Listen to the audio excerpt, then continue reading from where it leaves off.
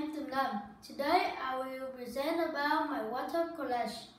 Water is, is interesting because it says we have water to drink, adult fish, watering plants, swimming, and wash our body.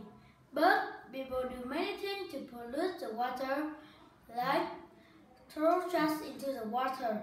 So, to have the water more clean, we need to pick up the water, the trash in the water, and don't throw trash in water.